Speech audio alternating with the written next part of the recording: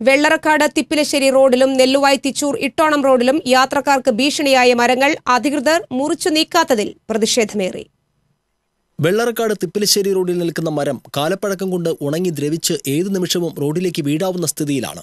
തിച്ചൂർ ഇട്ടോണം റോഡിൽ ബസ് കാത്തിരിപ്പ് കേന്ദ്രത്തിന് സമീപത്ത് പടർന്ന് പന്തലിച്ചു നിൽക്കുന്ന ഭീമൻ പൂളമരം വഴിയാത്രക്കാർക്കും വിദ്യാർത്ഥികൾക്കുമടക്കം ബസ് കാത്തു നിൽക്കുന്നവർക്കും ജീവന് തന്നെ ഭീഷണിയാണ്.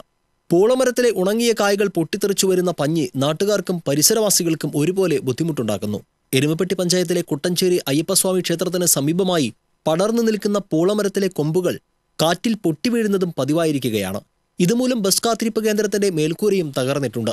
മരങ്ങൾ മുറിച്ചു മാറ്റുന്നതിനായി നിരവധി തവണ പൊതുമരാമത്ത് വകുപ്പിൽ പരാതി നൽകിയിട്ടും അധികൃതർ തിരിഞ്ഞു നോക്കുന്നില്ലെന്ന് നാട്ടുകാർ പറയുന്നു. വെള്ളറക്കാട് തിപ്ലശ്ശേരി റോഡിൽ മാസങ്ങൾക്ക് മുൻപ് മരക്കൊമ്പ് പൊട്ടിവീണ് നവവരൻ മരിച്ചിരുന്നു.